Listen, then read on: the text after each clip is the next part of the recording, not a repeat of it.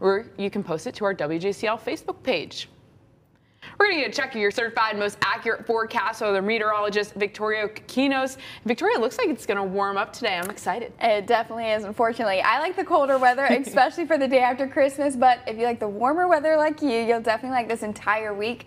We're going to be in the 70s, but we're starting off with a little bit of fog this morning and on the cooler side. Taking a look right now at downtown Savannah, the fog was pretty thick earlier this morning. We can finally see the Talmadge Bridge that will clear up as we move throughout the day and we are on the cooler side. 48 degrees right now in Savannah.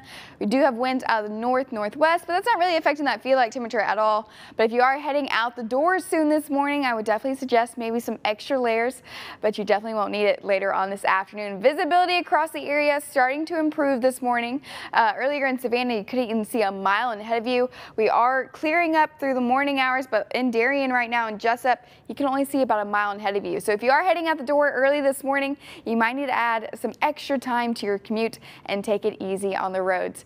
Uh, temperatures right now sitting in the 40s for the moment. Some areas in the 50s this morning. Definitely a chilly start to the day. 48 again in Savannah, Jesup at 52 and Darien at 57. So a big widespread of temperatures, but we will warm up through the afternoon hours. A warm day in store, mostly cloudy skies as we move through the morning hours and as we head into the afternoon, we'll start to see a little bit more sunshine. We're going to top off at a high of 71 degrees. Now that is 10 degrees above average for this time of the year. Before we start to cool off going into about 7 p.m., and then we start to see a little bit more fog develop going into this evening. Now let's go ahead and time that out for you on Futurecast. This is 6 a.m. this morning, partly cloudy skies to start off the day. We'll clear up through the afternoon. We start to see more sunshine.